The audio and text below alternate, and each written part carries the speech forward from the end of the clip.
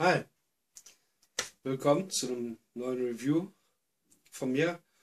Heute zum Thema Multitools. Und Multitools sind ja meistens recht teuer. Ich gehe mal von den Leathermans aus. Ähm, Victorinox. Günstiger sind dann schon mal Gerber. Und ich muss mich heute outen als echter ähm, Multitool-Fan, Freak oder Sammler. So habe ich zum Beispiel von Gerber das Bear Grylls Multitool. Habe ich nichts für bezahlt. Ich habe auch hier so ganz kleine. Das hat aber mit, mit, äh, mit Leatherman nichts zu tun. Aber trotzdem sehr stabiles. Das hatte ich mal bei Oh. Wo wirbt die Katzenbagger für? Die haben auch wirklich alles. Boko. Werbegeschenk von Poco. Auch mit vielen Sachen. Eins von Lux Tools. Sehr zuverlässig. Hat auch hier, wie man in Amerika sagt oder in England sagt, Spring Loaded. Also ist mit Feder unterstützt. Oder eins vom Flohmarkt. Das ist ein Hammer. Ein Zimmermannshammer. Mit einer Zange dran. Auch mit, äh, mit einer ähm, Feder unterstützt. Hat hier eine Klinge. Ich muss sie mal rausholen. Zeig dir mal ganz kurz. Ähm, eine kleine grobe Säge mit einer Pfeile dran, ähm, einem äh, Schraubenzieher. Hier ein paar äh, Schraubeinsätze, Flaschenöffner, eine Säge, einem Hakenlöser einem Kreuzschlitzschraubenzieher. Ja, wie gesagt, Hammer, Zange und ähm, um Nagel, Nägel rauszuziehen. 5 Euro auf dem Flohmarkt. Gut, das ist aber nicht. Äh, ach, ein Körperklatsch. Habe ich ja ganz vergessen. Da gibt es auch einige, die ich äh, jetzt nicht erwähnt habe. Aber worum ich heute, ähm, oder was ich euch heute zeigen möchte, ist der Discounter Norma hat im Augenblick wieder ähm, Sachen im Angebot wie ähm, ein Beil, eine Campingaxt, ähm, ein Fahrtenmesser, das hatte ich schon mal vorgestellt und hatte das genannt als äh, Gerber oder Bear Grylls Klon. Ist wirklich fast schon besser als das Original. Hatte auch vorgestellt, wie ihr sehen könnt, farblich abgestimmt, auch die Griffe, ähm, das Taschenmesser. Und jetzt haben sie im Augenblick das Multitool für 6,99. Und ich habe mir gedacht, für 6,99 machst du nichts verkehrt. Kannst ein Video für die Jungs drehen. Und vielleicht kommt ja was Vernünftiges bei raus. Ich bin gespannt. So, auf der Rückseite sind die Funktionen beschrieben. Da wären Telefonzange, Seitenschneider, Klinge, Pfeile, Kreuzschlitz und Schlitzschraubendreher, Dosen- und Flaschenöffner, Säge, Fischenschupper, Messhilfe, Hakenöser, äh, Grifflänge 100 mm, inklusive praktischer Gürteltasche. Oh. Und das für 6,99. Dann wollen wir es doch mal auspacken, oder? Und das machen wir steht echt mit einem Cover Multitool.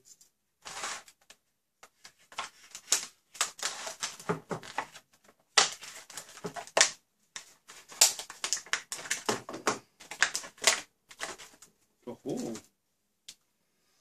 Und als erstes, was mir auffällt, Achtung, es unterstützt. Seht ihr? Oh lala. Entschuldigt, ich bin unvorbereitet. Augenblick.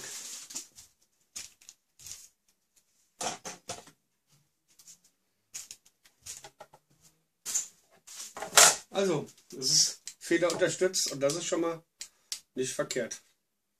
Da man die Feder von außen nicht sehen kann, wie zum Beispiel bei dem hier, da sieht man die Feder hier unterhalb des Gelenks. Also die Feder im Gelenk drin.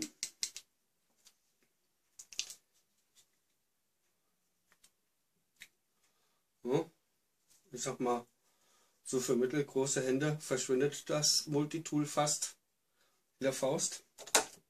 Ich mache dann jetzt mal eine kleine Messung. Und das wiegt 226 Gramm. Im Vergleich dazu das ähm, von Luxtools 193 und das von Gerber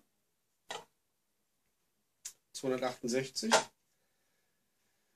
227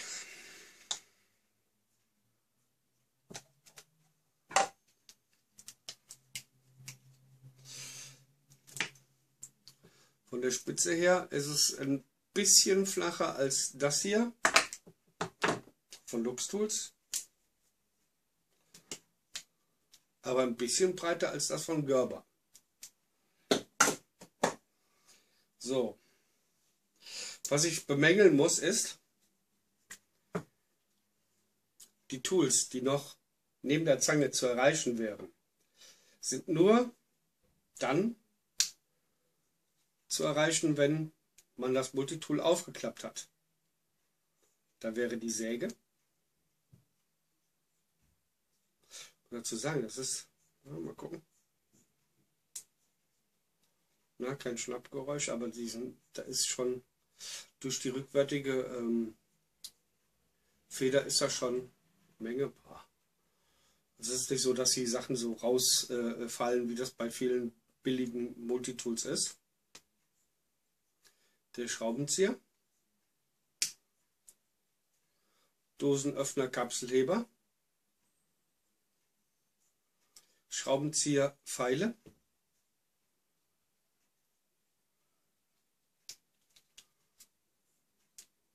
Der Entschupper mit dem Hakenlöser und hier unten, das kann man wahrscheinlich schlecht sehen, ähm, die Maßeinheit, also Messmöglichkeit, Kapselheber, Schraubenzieher, Kreuzschliffschraubenzieher und die Klinge. Jetzt muss ich dazu sagen, ich hatte vorhin, als ich das gekauft habe, da war ich auch auf Tour mit dem LKW und hatte bei meinem letzten Kunden abgeladen, daneben dran ist ein Norma. Hier steht drauf, der Artikel muss von Kindern, Jugendlichen und von solchen Personen ferngehalten werden, die sich den Gefahren im Umgang mit dem scharfen Gegenständen nicht bewusst sind. Vorsicht, die Klinge ist sehr scharf. Das wollen wir doch mal sehen. Es besteht Verletzungsgefahr. Um Verletzung zu vermeiden, stecken Sie das Produkt nach Benutzung stets in die Schutztasche. Die wollen wir uns auch gleich nochmal gucken. Äh, das Produkt sollte nur in dieser Schutztasche transportiert und aufbewahrt werden. Bei Beschädigung darf das Multitool nicht mehr benutzt werden. Das Multitool immer sauber halten, nach jedem Gebrauch reinigen. Firma Hydrodreck aus Wildeshausen. Und hier nochmal der Preis 6,99. Hier ist jetzt die Schutztasche.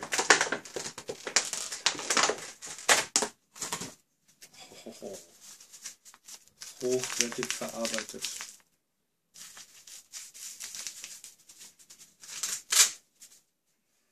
Oh, was haben wir denn da drin? Eine Garantiekarte. Eine Bedienungsanleitung. Bedienungsanleitung Multifunktionswerkzeug. Hey. Nun gut. Ach. Bin ja noch gar nicht fertig. Ich klappe jetzt nochmal diese Funktion hier ein. Lass die Klinge draußen. Wollen wir mal gucken, wie scharf die ist.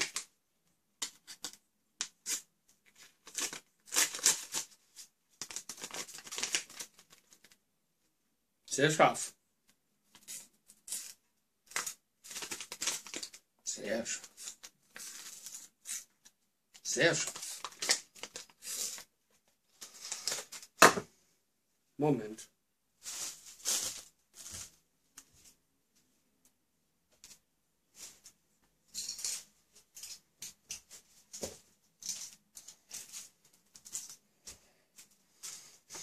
Mal gucken, ob wir das noch scharf kriegen.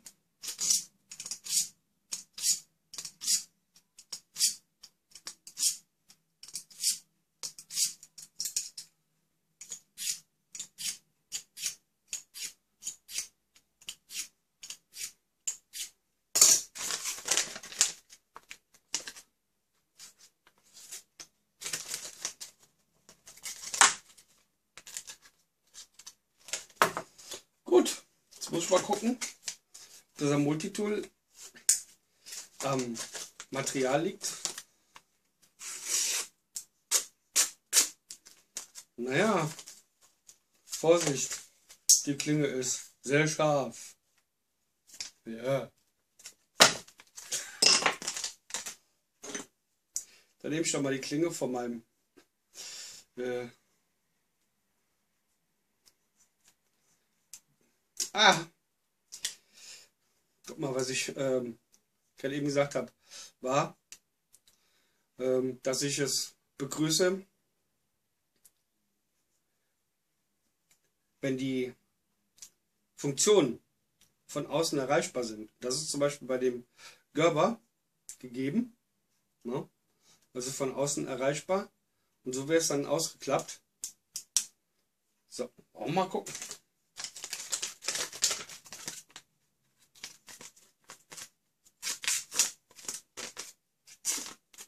Mhm. Mhm. Mhm.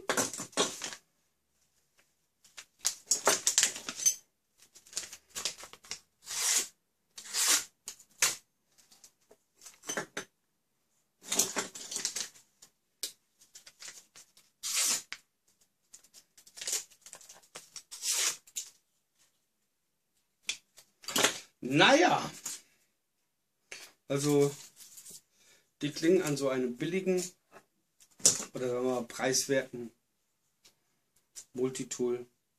Da muss man noch ein bisschen was dran arbeiten. Ich fange schon mal damit an.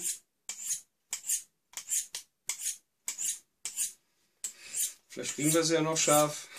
Vielleicht ist das aber auch nur drückendes Beiwerk.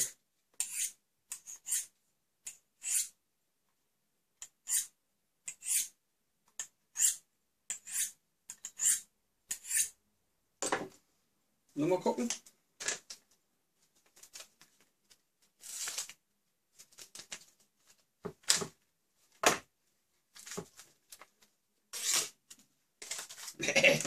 das geben wir mal auf.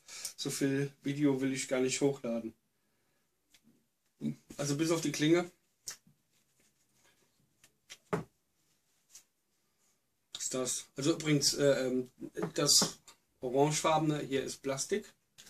Und das hier ist so ähm, eine Gummi. Was steht denn da?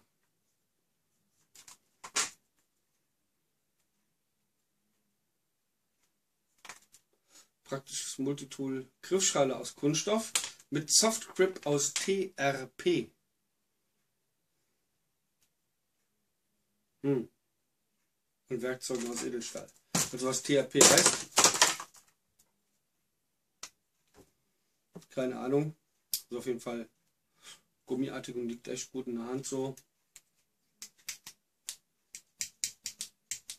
Ist aber für 6,99 Euro. Kriegt ihr, kriegt ihr vielleicht mal im Bauhaus oder im Baumarkt ein recht, eine recht vernünftige normale Zange.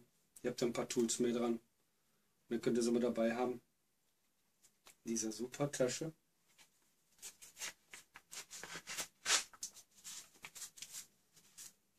Ja, das war's. Im Prinzip sagen wir Fazit. Note 3 bis 4, befriedigend bis ausreichend. Danke fürs Zuschauen. Bewertung, Kommentare werden gerne gesehen. Wir sehen uns im nächsten Video. Macht's gut. Tschüss.